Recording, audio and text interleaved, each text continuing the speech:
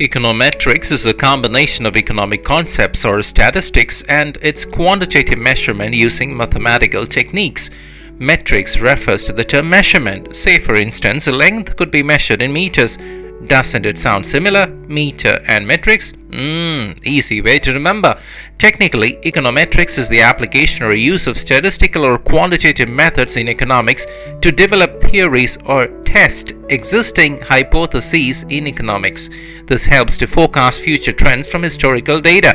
Econometrics relies on techniques such as regression models and null hypothesis testing. For example, we could study the income effect using observable data. An economist may hypothesize that as a person gets his income increased, his spending will also proportionally increase. Regression analysis could then be done in order to understand the strength of the relationship between income and consumption.